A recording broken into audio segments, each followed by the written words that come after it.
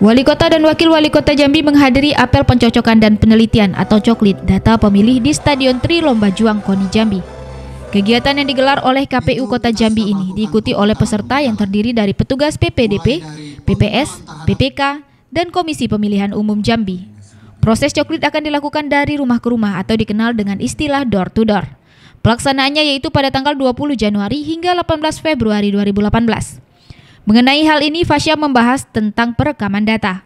Fasya berharap calon pemilih yang sudah merekam KTP namun belum mendapatkan KTP bisa diberikan kesempatan oleh KPU Kota Jambi untuk memenuhi hak pilih pada Pilwako 2018.